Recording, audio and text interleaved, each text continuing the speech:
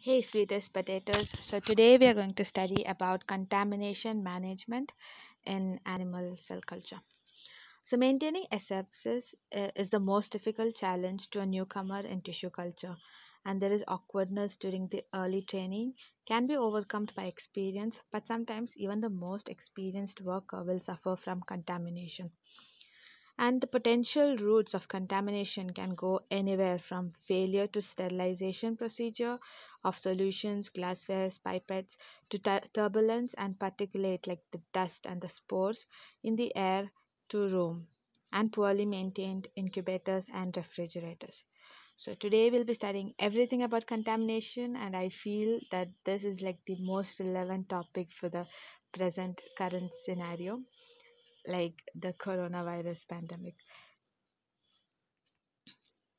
So the contents of this class includes uh, sources of contamination can be from different sources like operator environment, laminar flow, humid incubator, and so on and so forth. And this type of microbial contamination, monitoring of contamination. Uh, we'll be learning about all the three different contaminations that is microbial, mycoplasma, and viral contamination, and eradication of con- contamination and also a little bit about persistent contamination, cross contamination, and finally summarize the whole thing. So, coming to the sources of contamination. So, there are many sources of contamination. The first uh, source is the operator's uh, technique. So, the operator's technique, like if all the reagents are sterile, the equipment is proper, then the contamination it depends upon the uh, interaction of the operator's technique with the environmental condition, like how you do the experiment, or you can also tell how you handle the uh, equipment. The second one is the environment. So you need a clear and free uh, environment from disturbance. It should be a traffic free area in isolated room and equipment which are brought into the sterile um, area from storage can also increase the risk of contamination. So you have to maintain very strict cleaning program, pipe down anything that is brought in. And then the third one that is maintenance of uh, laminar flow hood. So it shouldn't be overcrowded with equipment and uh, so if, if for example if your laminar flow is filled with all these equipments then uh, there's a risk uh, because uh, the distance between the operator uh, and the entry like the person who's sitting and because it's cluttered the, the space won't be prop eh, won't be enough because of the uh, like cluttering of all the things inside. So this leads uh, to the entry of non-sterile air into the hood and also it can lead to a collision of pipettes and integrity of the and also in laminar airflow one more important is the integrity of the filters. Uh, the cabinets have to be checked at least uh, twice a year. And third one that is humid uh, incubators. So the humid incubators are like the main source of contamination because um, and high humidity is not needed unless you're using open vessels. Uh, so sealed flasks you can keep it even in dry incubators and the carbon dioxide supply so the carbon dioxide supply is either to the cylinder you can or pipe it. And permeable caps can minimize this uh, humid uh, incubator contamination but the problem is it increases the cost per unit. So you can use permeable caps with secondary rubber caps to prevent and also uh, uh, keep it transfer it into non-gas incubator. So to reduce uh, contamination in the humid uh, incubators the incubator have to be placed in the interior and the uh, in the interior and uh, you have to maintain static air. And fungicides can also be used uh, and a copper lined incubator. So if you have copper lined incubators it can reduce the fungal growth. But the problem is it is like about 20 to 30 percent more expensive than the um, than the normal incubators. Then so instead if, if you for example if you don't have this copper lined incubator then uh, you can what you can do is you can place a you would have seen this in uh, labs where they place a, a copper foil in the humidifier tray. So this can also inhibit the growth of the fungus but only in the tray. But it's not like it's not going to protect the walls of the incubator. And uh, many fungal uh, retardants are used like copper sulfate and you have riboflavin and also SDS and uh, there's a, another compound called as Roccal r-o-c-c-a-l so this uh, is also a very uh, fungicide. And using 10% Roccal we can clean the incubator. And it is a it is a very uh, non-toxic anti-fungal clearant which is mo most routinely used in most of the uh, you know uh, incubators. Now coming to the next one that is the cold storage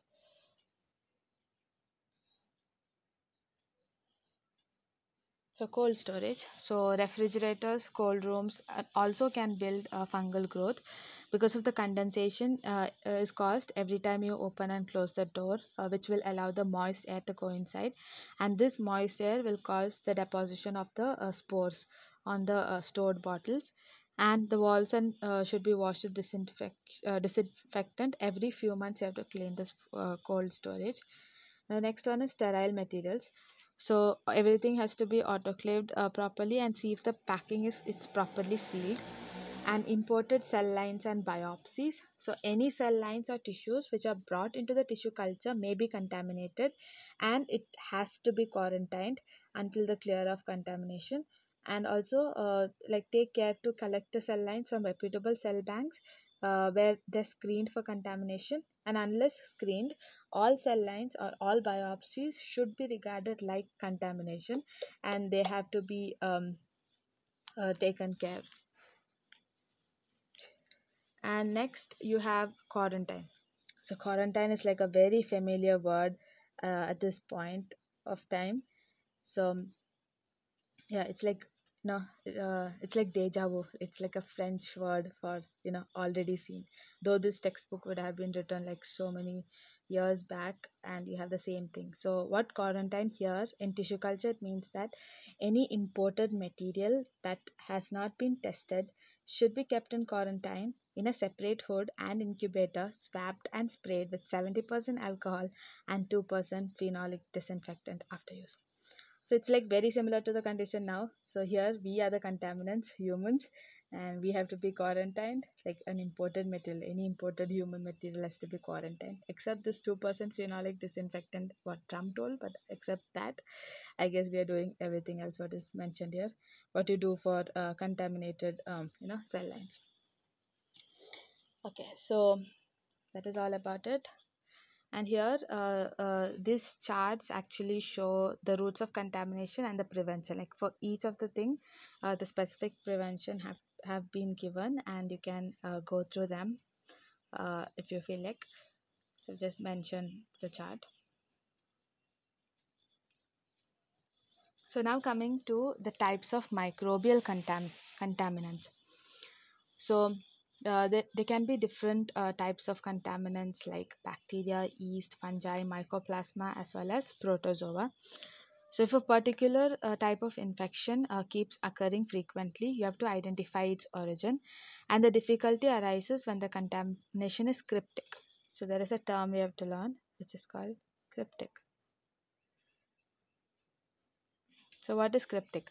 So, cryptic is like it's very small to be seen under microscope uh, so even if you try to see you won't be able to see but still there is contamination in in it. So those type of uh, things are called as cryptic and mycoplasma is the like the best example for cryptic contamination because it's very small and it's very hard to detect. And it's also very slow growing so it's slow growing and it escapes the detection process. So here you can see in these diagrams uh, under microscope how uh, the mycoplasma in mycoplasma you can see a fried egg uh, kind of you know these are called as fried egg uh, morphology. So and then you have the bacteria yeast mold and these three are all mycoplasma in different microscopes and uh, different uh, resolutions it has been shown. So coming to monitoring of contamination. So how do you monitor contamination? So so monitoring of contamination, it includes many steps. The first one is by uh, check by eye and with microscope at each handling. And uh, for for mycoplasma, you have to check it for like every uh, every month. Every month you have to check for mycoplasma. and if the contamination uh, is confirmed then swab it with 70% alcohol and with, along with the phenolic disinfectant and do not use the hood until the next day you also have to record the nature of contamination and if the contamination is new okay and the contamination can be of um, different types okay. So you have uh, the contamination can either be uh, new new and widespread so new and widespread is that uh, if the contamination is present in two cultures, uh, then the contamination is called as new and widespread. So when this happens, you have to discard all the media stock and also the trypsin. And if uh, and the contamination can also be just new, uh, the new and not widespread. So if the contamination is new and widespread, that is only in one culture you see uh, this type of contamination, then you have to discard the culture medium bottle which is used for that uh, to feed that culture and also the other reagents like trypsin. And then uh, you also have the contamination uh, which is widespread and multispecific. Widespread and uh, multispecific. So if it is widespread and multispecific and repeated so that means then it's the whole thing has to be changed. I mean the lab uh, the lab laboratory you have to check the laboratory you have to uh, check the sterilization procedures.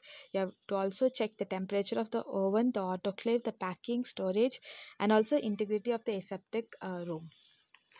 So these are the ways in which you monitor the different types of uh, contamination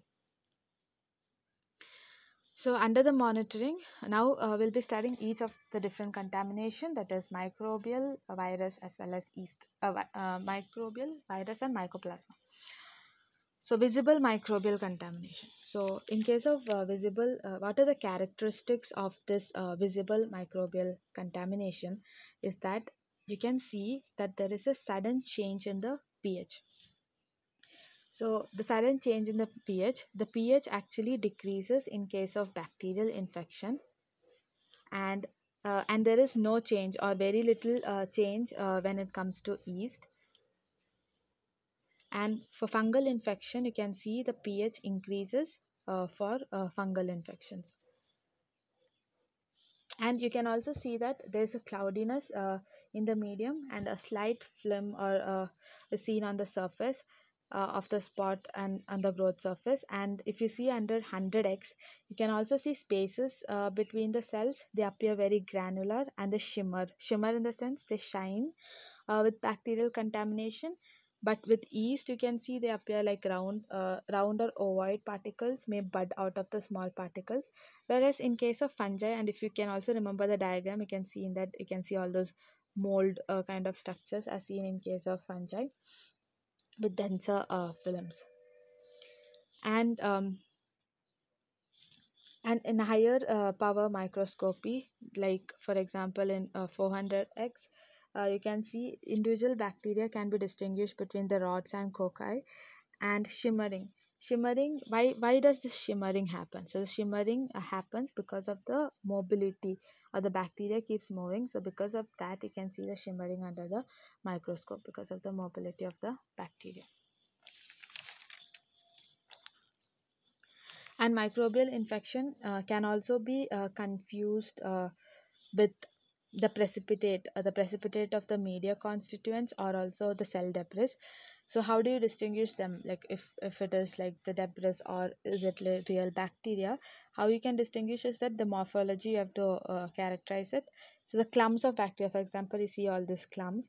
So uh, you have to shake uh, these clumps.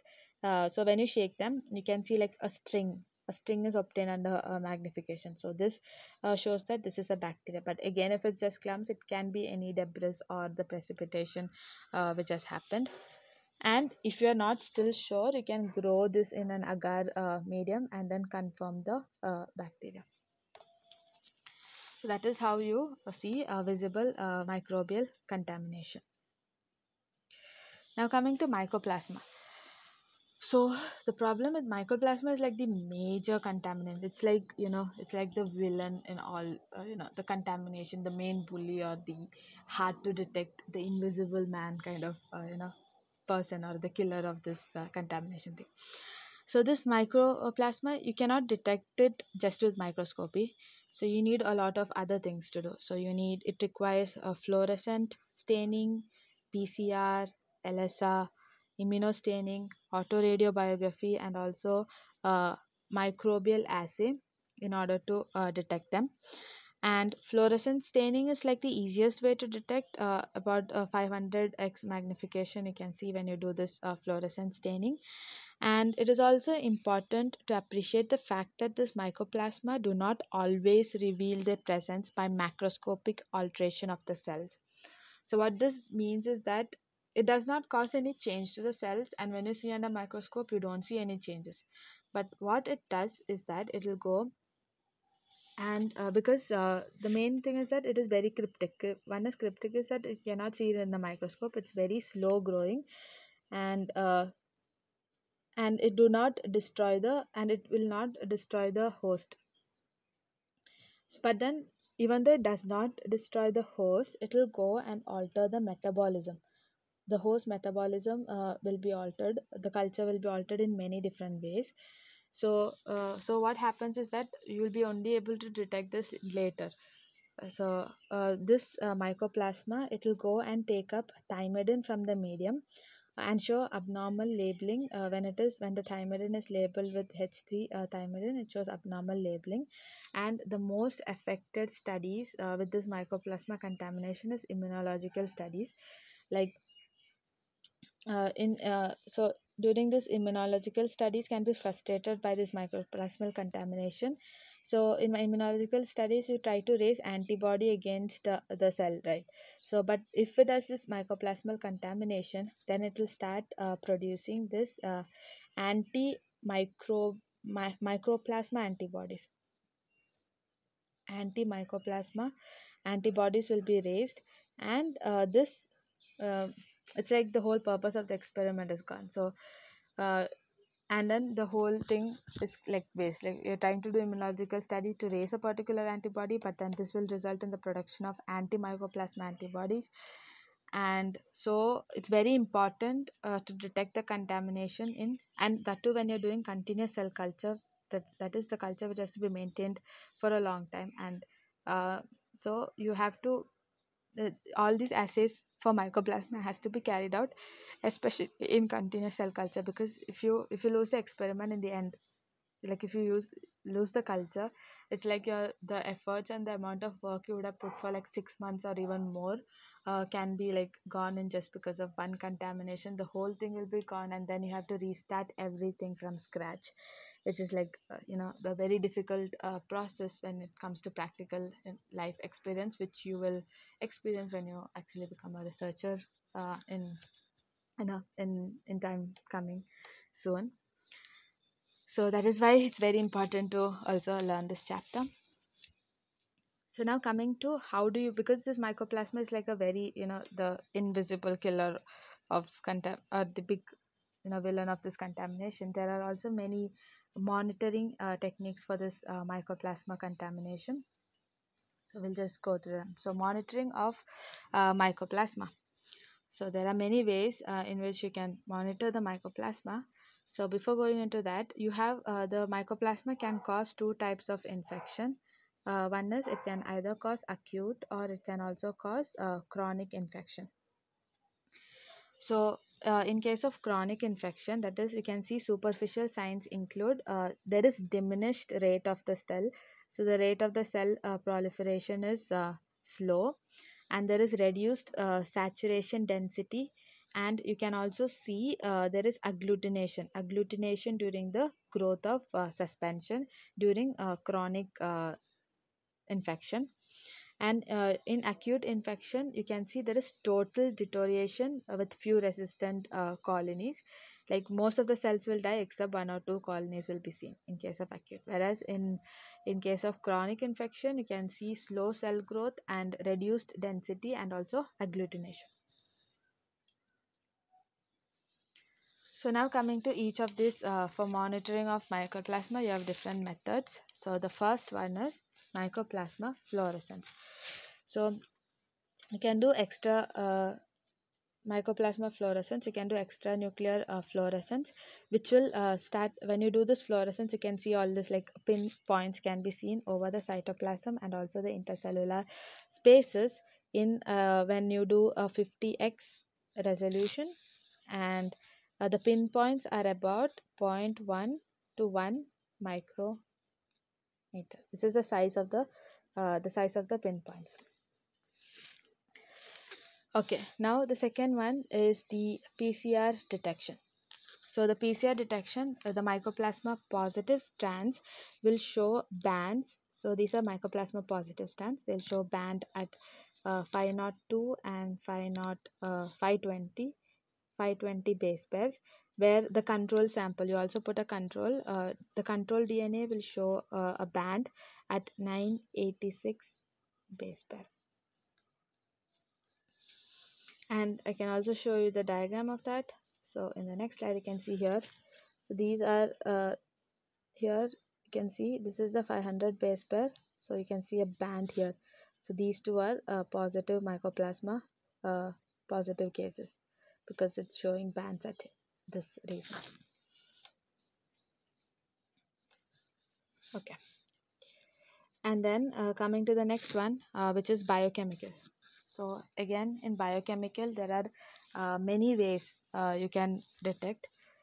So so first is uh, bio there are uh, there are specific enzymes mycoplasma specific enzymes like you have arginine deaminase and there is a nucleotide uh, nucleoside phosphorylase nucleoside phosphorylase and also uh, these two are uh, arginine deaminase and nucleotide phosphorylase are two uh, uh, specific enzymes mycoplasma specific enzymes and also it shows toxicity with uh, 6 methyl purine deoxyriboside okay so that is about the biochemical and then in biochemical you can also do uh, mic next one is microbial culture. So when coming to this uh, microbial culture uh, the mycoplasma positive control uh, so you can um, seed them in a mycoplasma broth. It is uh, and it is grown for about uh, six days. And after six days you'll plate it in a nutrient uh, agar so when you put it in nutrient agar you can see colonies. So after eight days you can see colonies. And this can be recognized by their size. So the size of the colonies will be uh, approximately 200 uh, micrometer in diameter. And they also have like previously i've told you and showed you the picture of a uh, characteristic like a fried egg kind of characteristic. You have a, like you have this type of uh, colonies can be uh, morphology can be seen where the center is little light and the center is dense and uh, it is lighter towards the periphery. And this type of morphology is referred to as uh, fried egg uh, morphology. And now uh, coming to the next one that is um, molecular hybridization. So molecular probes which are specific to mycoplasma uh, DNA can be used in uh, southern blotting analysis to detect uh, the micro molecular hybridization techniques. And so in molecular hybridization what you do is southern blotting to detect the mycoplasma. And then you have the next one that is thymidine incorporation. So uh, this this is done using autoradiography uh, using this thymidine uh, incorporation. And it is incubated overnight for the overnight with a 4 kb per ml of the uh, mycoplasma. So that is all about monitoring of um, mycoplasma. Now we'll go to the next con contamination that is viral contamination. So yeah again viral contamination. We have been all contaminated with virus. And so the potential source of viral contamination are the incoming cell lines and you also have the nature of the product nature of products like the serum and also enzymes enzymes like trypsin. So the like as you know there is no certain way uh, to eliminate viral contamination. So the best way uh, is to just avoid the viral contamination and it rely on the quality uh, control and supplier and like you know even for this there is we don't there is no other way to you know prevent the contamination. Only thing is you can detect the contamination.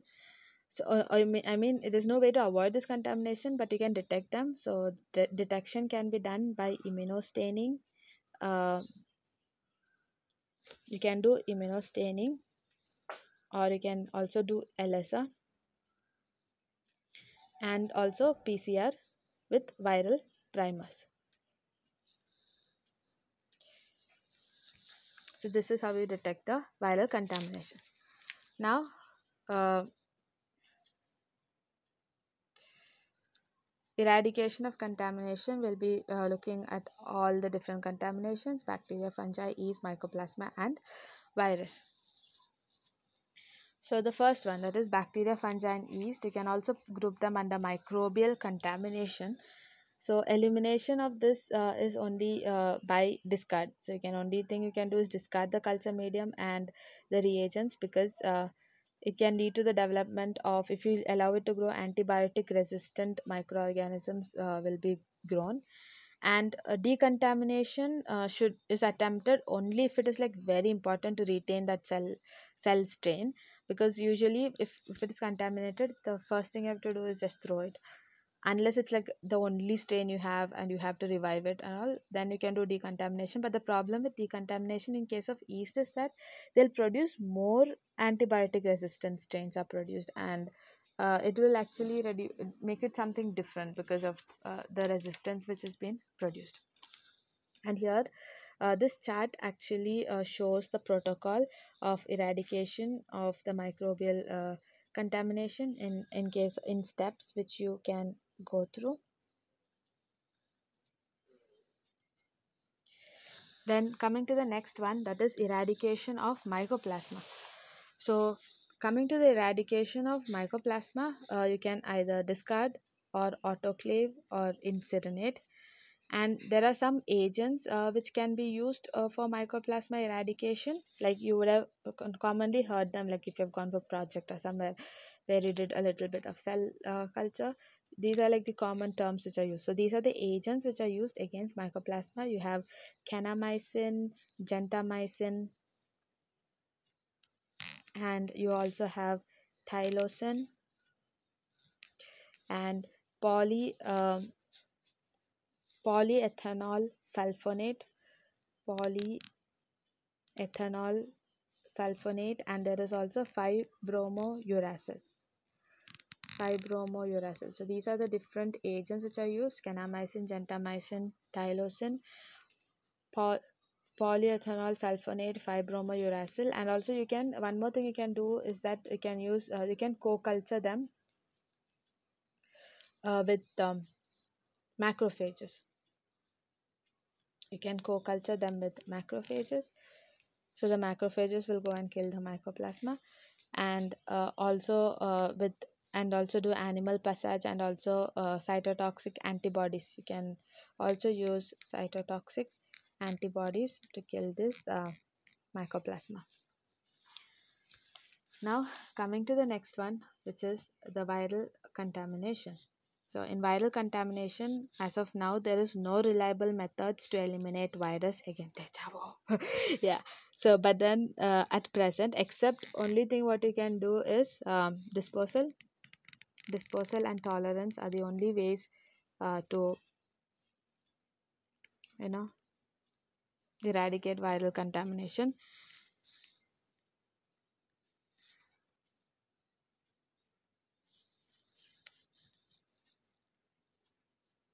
and there is also something called as the persistent contamination and cross contamination so what is persistent contamination so typically what happens uh, is that there is increase in contamination rate from deterioration of aseptic uh, technique. They can be increased in spore count atmosphere and poorly maintained incubator contamination of the cold room refrigerator or if there is any fault in the sterilization oven autoclave and all that. And the use of antibiotics also causes uh, this development of this chronic uh, contamination so in, when you use uh, so that is why it is advised you're not supposed to use antibiotics all through the culture. Like it what happens is that when you use antibiotics uh, not all the organisms are killed but then they will be in, in the culture itself and then they'll be resistant. And when the conditions change they will start to grow. So it, uh, it is essential that the cultures have to be maintained antibiotic free at least for a part of uh, time you have to make it antibiotic free. And or else it will be very difficult or else there'll be a lot of cryptic contamination that is the contaminations which are not seen under the microscope uh, will persist and it will be very difficult to uh, eliminate them. And in persistent uh, contamination some of the thing the only thing what you can do is that you can the procedures have to be ma- maintained stringent even if the reason is not always obvious to the operator that is sometimes uh, you, you don't know the reason but uh, some sometimes some routines have to be followed irrespective of what you feel like like the cleaning procedures and all that. And um, it should not be taken casually and strict practices should be maintained. And the, the when you follow all these rules the good thing is that uh, it is we are not always sure that the contamination will be eliminated entirely but the thing is that it can be reduced at least you can reduce the contamination and it can be detected early because you're following the rules. Like you have to check the cultures at this particular every two months for mycoplasma and uh, and all the cultures have to be regularly viewed under microscope. So if you s- keep skipping all these routine uh, steps even though it might uh, seem uh, easy uh, you might feel lazy to do it but then it, it the cost you pay for it is like so much so much of your time and efforts will be gone into waste if you don't follow these uh, routine procedures so it's very important. And then coming to the next one that is the cross contamination.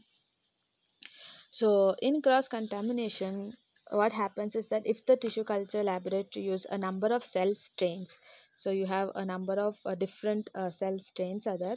And um, which are evolved and they have short doubling times and also high plating efficiency. Even though it's good for the experiments the problem is that it can cause cross, cross contamination if there are too many cell lines. So you have a cell line called as HeLa. So this HeLa cell lines can be contaminated with the other cell uh, cell strains which are already being done in the same lab. So and many people are uh, and HeLa cell lines it, it is the main main one which always gets cross contaminated so the prob and many operators are still unaware of the seriousness of the risk because you do an experiment uh, in a cell culture uh, in the cell line and it's already cross contaminated with something else. So then whatever results you get is not actually valid right? So because there is also something else in in, in that cell line and whatever phenotypic uh, characters what you get it, it wouldn't be right. So so one way uh, in which cross contamination uh, can be maintained is when you publish the data, the journal editors and referees they reject the manuscripts, uh, which grant review bodies to uh, and grant proposals without giving any proper evidence or authentication of the cell lines. So the authentication of the cell lines are very important when you're publishing the paper, and or else uh, there there is no you know the the results what you get are not valid. It can be cross contaminated cultures. So these are some of the ways in which you can prevent cross contamination. So you have to get it from a reputable bank and um, and also not keep more than one culture uh, in the and simultaneously you should not open different cultures and keep and check for contamination and cross contamination can be confirmed. Uh, the contamination can be confirmed by these um, here so they can be confirmed by the dna uh, fingerprinting dna profiling karyotyping uh, procedures. And yeah that's all. And coming to the conclusion i know this um, you know this class has taken more time than the usual 20 minutes but it's a very important chapter and it's a whole this unit it's like a whole unit in your textbook. So uh, yeah so concluding every you have to check the living uh, cultures regularly for contamination by using normal or phase contrast microscopy uh, and also do fluorescent staining pcr and, and the most important thing is that uh, you should you should never uh, like uh, the cultures should not be routinely maintained in antibodies. You have to grow at least one set of cultures without antibiotics for minimum of two weeks so that uh, in order to allow the cryptic contamination to be seen. And yeah if anything is brought from outside you should follow the strict quarantine. And and even after quarantine uh, you have to check it like uh, like you have to check the cell lines for with dna fingerprinting profiling and standardization. So after all these things it's better to start uh, with experiments. So it's always better to start with a good uh, culture than a contaminated uh, thing. So with this this chapter comes to a conclusion. So if you liked this class please click a like. It's like a dopamine dose for me and it's it also helps with the algorithm. And yeah.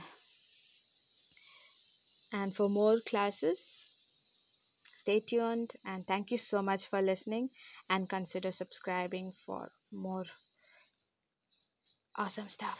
Thank you